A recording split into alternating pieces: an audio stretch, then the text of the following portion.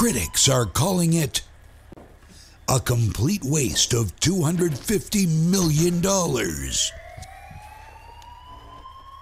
From the makers of Twilight. Be prepared. Hang on to your seats in super real 3D. Good versus evil. One man. One weapon. The world is no longer as you remember it. You are in the no-fly zone. Divert or you will be shot down. Even in the dark, there is still hope.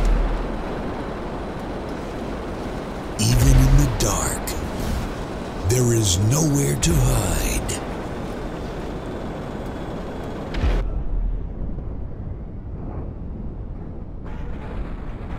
This summer, The Hobbit in theaters.